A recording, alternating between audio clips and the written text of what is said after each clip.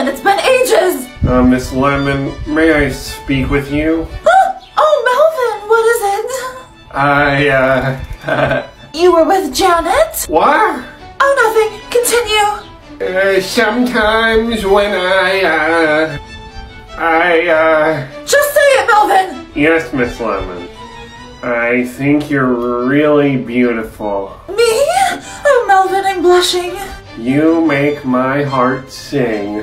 I do? Indeed. Well, Melvin, I've actually been meaning to tell you something. What is it? I have feelings for you too.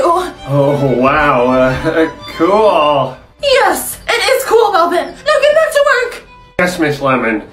But what do we do now? I don't know, Melvin. I'll figure it out. Just keep it private for now, okay? Affirmative. I will be ready when you call.